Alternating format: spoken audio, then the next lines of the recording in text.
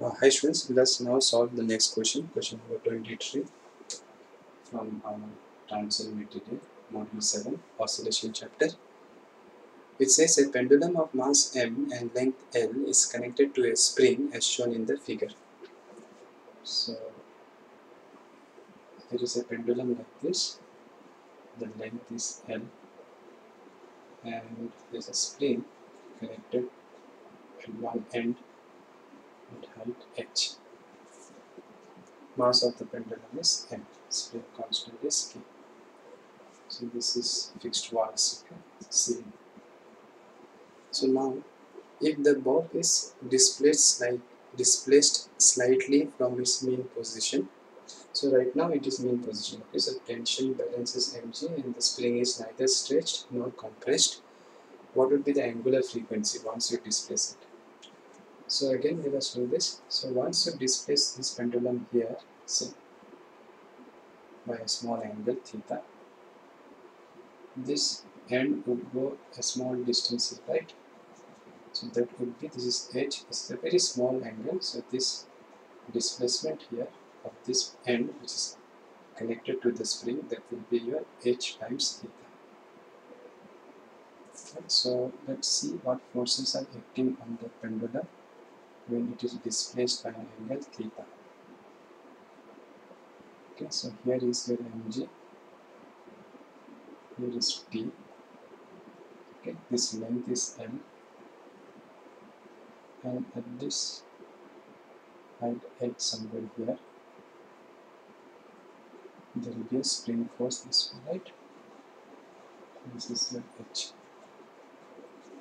Okay, this when it goes like this, this will be your h and this will be your, the whole length will be your n. See, if I do like this, the length of this doesn't change, right?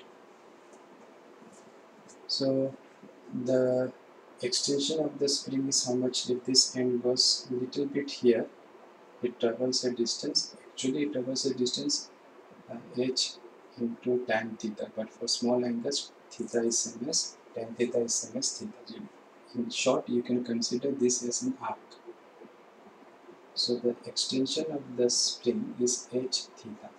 So spring force will be what? K into extension which is h theta. So these are the three forces on the pendulum now it is going to oscillate about this point. So let us calculate torque about that point.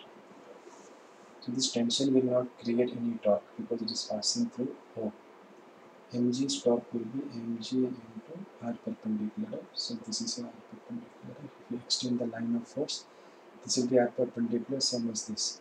And this is l so this will be l sin theta so this is the torque due to mg what about torque due to this force? So this force is here. This is the pivot. So this is your r perpendicular this is h. This is adjacent side. So this will be your h cos theta so force is kh theta, r perpendicular is h cos theta. What about the direction of this two torque? This will create torque this way. This force will also create torque this way about point O. So both are in the same direction. Okay, so you can add.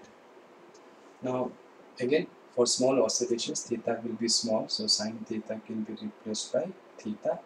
Cos theta can be replaced by 1 for small angles cos of angle is 1 so your torque will be mg l theta plus kh square. You can take theta common. So that will be your torque. If that is your torque then alpha will be what? Torque divided by moment of inertia. So let me divide by moment of inertia here itself. That will be your alpha. Now moment of inertia the only object which has mass is the bob and it is going like this right? It is going this way. So moment of uh, moment of inertia about this end will be for a single particle it is m r square. So distance of the particle from this axis of rotation is l so it will be m l square.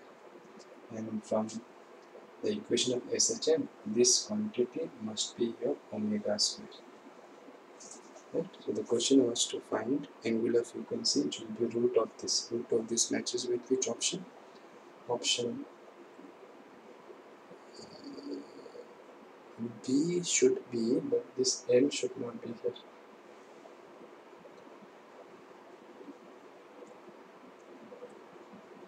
It's correct. K h square. So basically, they have written this in the first term, this in the second term. So this is option B. Okay, so it's a simple problem. So the answer is option B. Okay.